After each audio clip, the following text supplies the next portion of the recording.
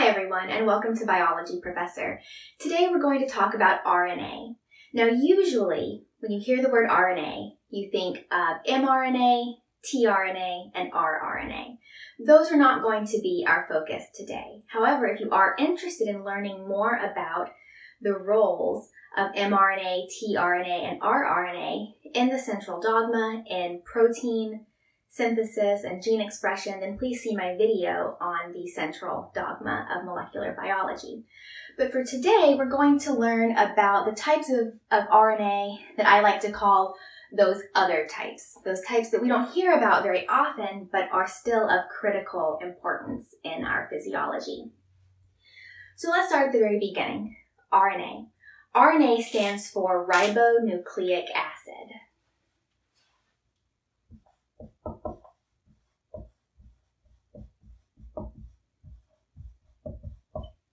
And so that acronym RNA actually comes from letters in this term.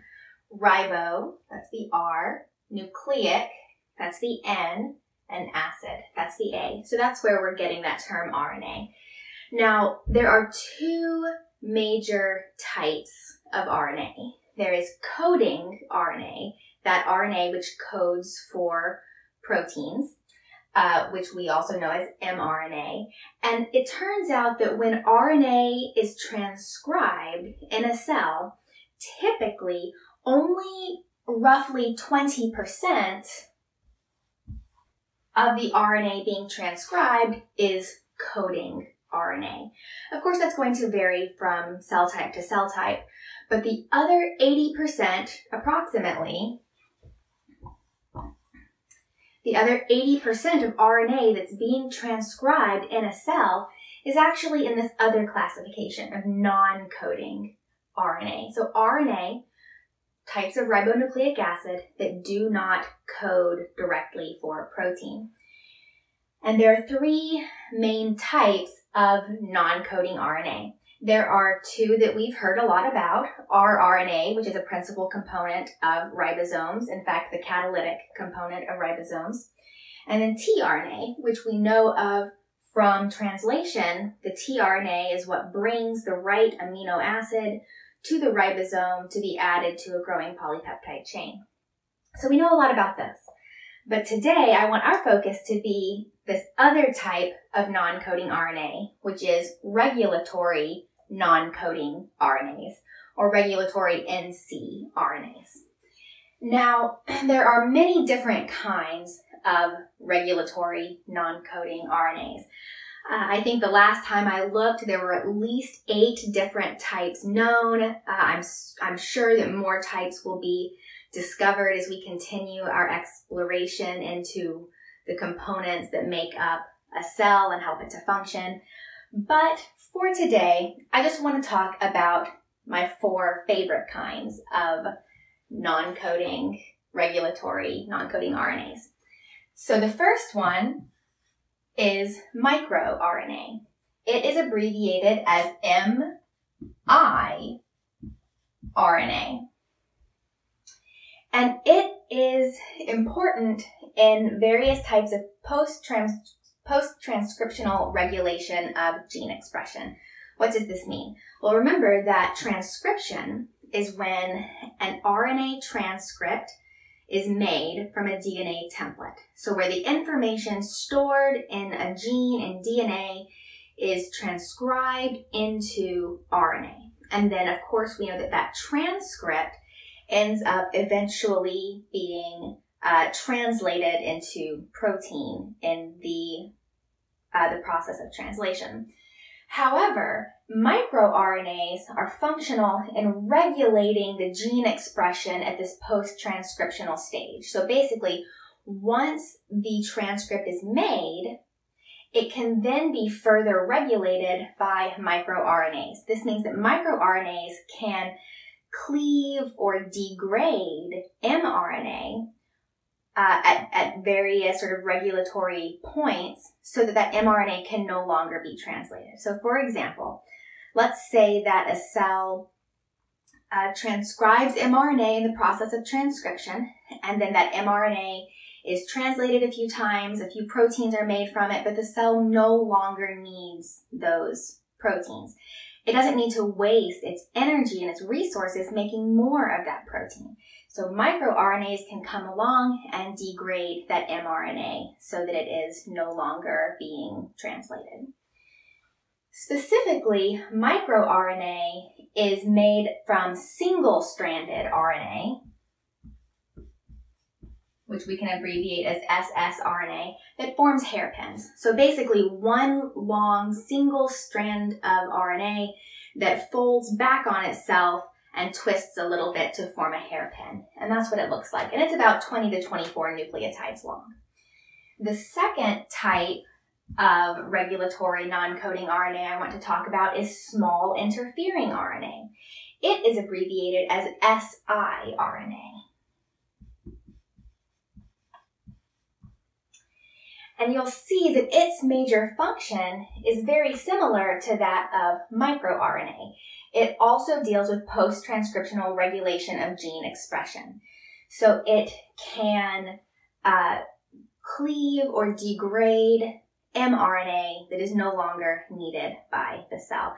It can also degrade viral RNA, uh, since we know that there are many viruses that use RNA uh, for their genetic material, and that viral RNA, if it's found inside of a cell where it's infecting the cell, uh, small interfering RNA can help get rid of it. It is composed, rather than being single-stranded RNA that forms hairpins, it is actually composed of double-stranded RNA. So we can abbreviate that as dsRNA. So this is double-stranded RNA, so two strands of RNA where the nucleotides are linked together, uh, complementary nucleotides linked together by hydrogen bonds. Small interfering RNA also has some interesting biotech applications called RNAi. This stands for RNA interference.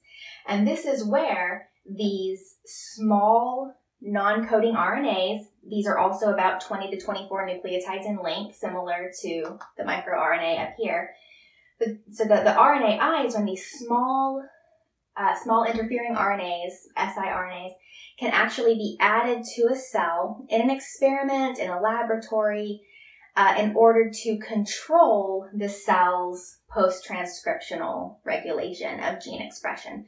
So this is being used by scientists to figure out, you know, what different genes do in different situations and different cell types, um, and the type of regulation that controls uh, expression of various genes. Now let's go on to the third type of regulatory non-coding RNA, and that is small nuclear RNA, which we abbreviate as snRNA.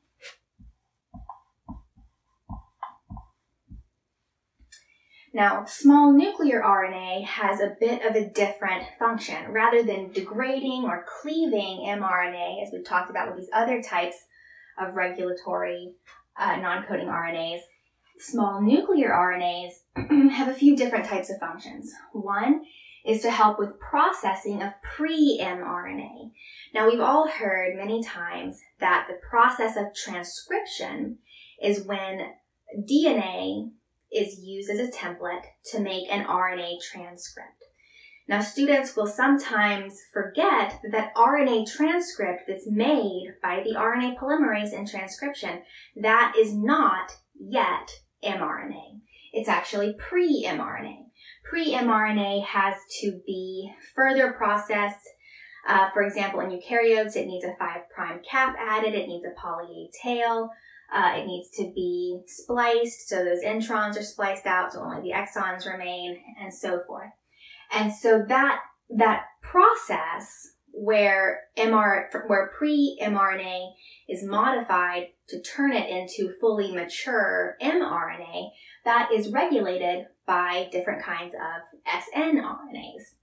snRNAs also regulate transcription factors.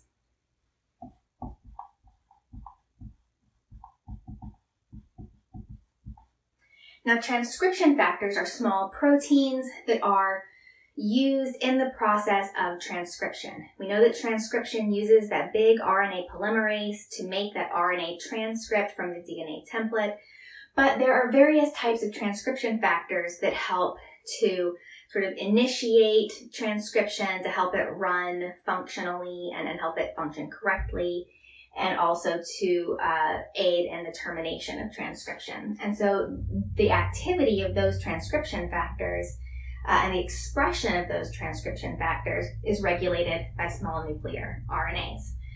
Small nuclear RNAs also are important in maintaining telomeres. Telomeres are long, repetitive stretches of DNA at the ends of our chromosomes.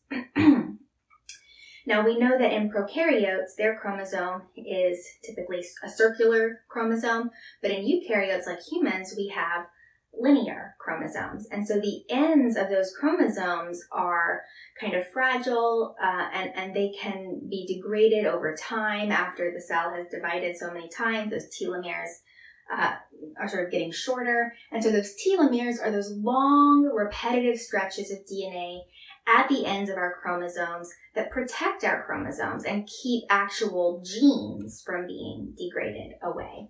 And so those telomeres are maintained in part through activity by small nuclear RNAs. Now you can see that the small nuclear RNAs, in addition to having a different set of functions than these other two non-coding RNAs we've talked about, uh, they, it, they also have a different length. They're about 150 nucleotides long, so quite a bit longer than, my, than, than microRNAs and small interfering RNAs. So now to wrap up this video, let's talk about the fourth type of regulatory non-coding RNA. And that is long non-coding RNAs. These are abbreviated as LNC RNA. So LNC RNA, often called link RNAs.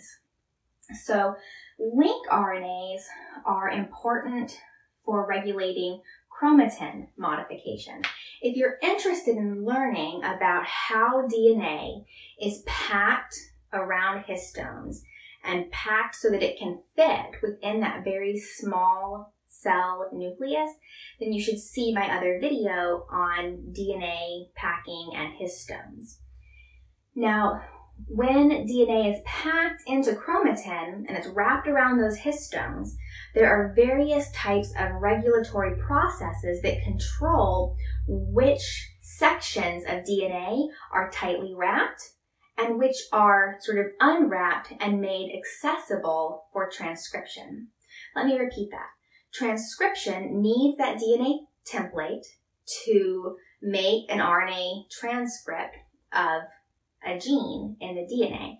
The DNA is often really tightly wrapped around histone proteins uh, and very tightly packed together into this chromatin-like structure. And the chromatin can be modified through various types of sort of biochemical tags, things like methyl groups or acetyl groups, and, and the types of modifications present control which DNA is open and available to be transcribed and which DNA is closed and not available to be transcribed. And link RNAs regulate those processes of which types of DNA are available uh, to be transcribed at different times. Now, link RNAs also regulate various parts of transcription.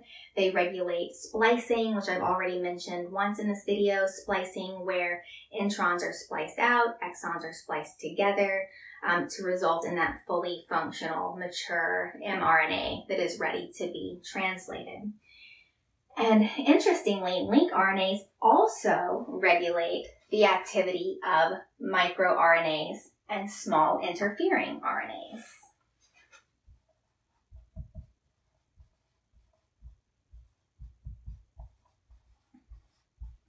So we see that there are these really um, fascinating levels of regulation where this type of RNA regulates certain things and this type regulates certain things and they are themselves regulated by other types of RNA Uh, and we see that um, there are just all of these levels of different kinds of regulation, which really gives the cell a lot of control over its internal processes.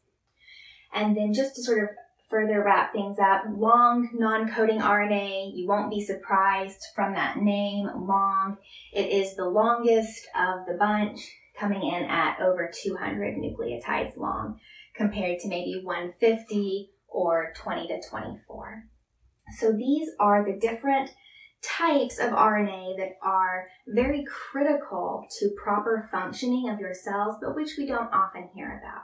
So I hope that you learned a lot from this video today. If you're interested in learning more about the processing of pre-mRNA, that 5' cap, the poly A tail, the, the splicing, then I also have a video on that topic and I hope you will check it out. Thank you for watching Biology Professor.